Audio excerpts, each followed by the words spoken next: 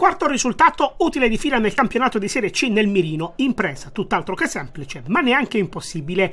Ci proverà con gambe, testa e cuore il Cerignola impegnato domani sul campo del Pescara terzo in classifica nel decimo turno del girone d'andata.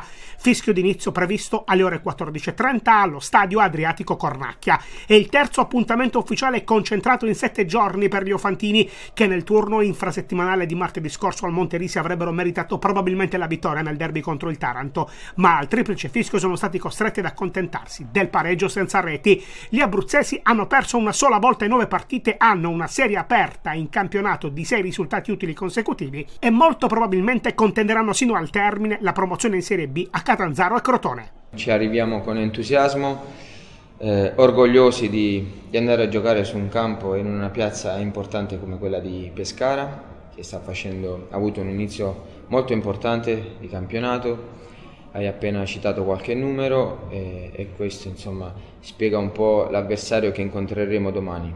Sicuramente eh, andremo lì domani cercando di fare un'altra bellissima prestazione, di, di tornare a casa con, con più punti possibili. Il percorso intrapreso, come ho già detto in precedenza, è quello giusto, bisogna, bisogna coltivarlo, bisogna nutrirlo questo percorso e bisogna continuare eh, a metterci roba dentro per far sì che che, che poi gli episodi possano girare dalla, dalla parte nostra.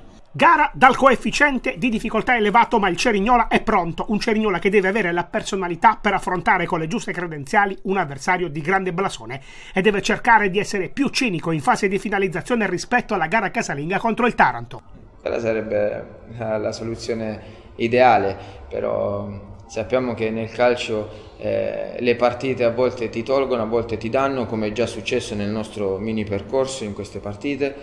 E è chiaro che eh, noi dobbiamo essere consapevoli che la strada intrapresa è quella giusta. Sarò ripetitivo, ma è quello che più mi, mi, mi, mi interessa eh, sottolineare e far presente, perché eh, i ragazzi in questo momento hanno bisogno di, di consapevolezza, di certezze eh, le hanno trovate e bisogna continuare su questa, su questa, strada e poi io credo e sono sicuro che alla fine i risultati eh, ci daranno grandissima, grandissima soddisfazione.